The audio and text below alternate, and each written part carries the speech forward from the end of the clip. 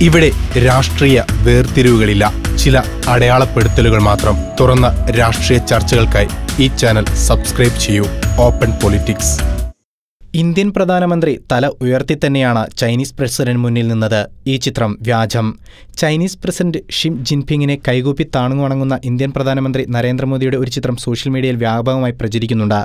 എന്നാൽ ഈ ചിത്രം തീർത്തും വ്യാജമാണ്. ലളിതമായ ഫോട്ടോഷോപ്പ് എഡിറ്റിൽ സൃഷ്ടിച്ചത്. ഇന്ത്യ ചൈന സേനകൾ തമ്മിൽ കിഴക്കൻ ലഡാക്കിലെ ഗാൽവാൻ താഴ്വരയിൽ ഏറ്റുമുട്ടിയ പശ്ചാത്തലത്തിലാണ് ഈ ചിത്രം സോഷ്യൽ മീഡിയയിൽ പ്രത്യക്ഷപ്പെട്ടത്. ഏറ്റുമുട്ടലിൽ ഇരുപത് ഇന്ത്യൻ സൈനികർ വീരമൃത്യു വരിക്കുകയുണ്ടായി.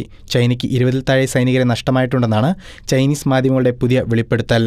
രാഷ്ട്രീയമായ പരിഹാസങ്ങൾക്ക് വേണ്ടിയാണ് ഈ ചിത്രം സോഷ്യൽ മീഡിയയിൽ പ്രധാനമായും ട്വിറ്ററിൽ പ്രചരിപ്പിക്കപ്പെടുന്നത്. പ്രധാനമന്ത്രി മോദി ഈ ചിത്രം യാഥാർത്ഥ്യമാക്കിയെന്ന അടിക്കുറിപ്പോടെയാണ് കോൺഗ്രസ് വക്താവ് ദേവാശിഷ് ജരാരിയ ഈ ചിത്രം ട്വീറ്റ് ചെയ്തത്.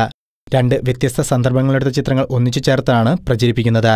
അതിൽ ഒന്ന് രണ്ടായിരത്തി പത്തൊൻപതിൽ മാമലപ്പുത്ത് വെച്ച് പ്രധാനമന്ത്രി നരേന്ദ്രമോദിയും ഷി ജിൻപിങ്ങും തമ്മിൽ കണ്ടുമുട്ടിയപ്പോഴെടുത്ത ഒരു ചിത്രമാണ്. മറ്റൊരു ചിത്രം രണ്ടായിരത്തി പതിനാലിലെടുത്തതാണ് കർണാടകയിലെ തുംകൂറിൽ ഒരു ഫുഡ് കോർട്ട് ഉദ്ഘാടനം ചെയ്യാനെത്തിയ പ്രധാനമന്ത്രിയെ സ്വീകരിക്കാനെത്തിയ തുങ്കൂർ മേയർ ഗീതാ രുദ്രഷിനെ അദ്ദേഹം അഭിവാദനം ചെയ്യുന്ന ചിത്രമാണത്. ഈ ചിത്രത്തിലെ മോദിയുടെ ഭാഗം മാത്രം മുറിച്ചെടുത്ത് ജി ഷിൻപിങ്ങിന്റെ ചിത്രത്തിൽ ചേർക്കുകയായിരുന്നു.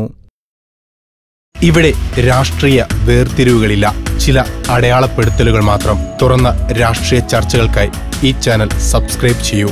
Open politics.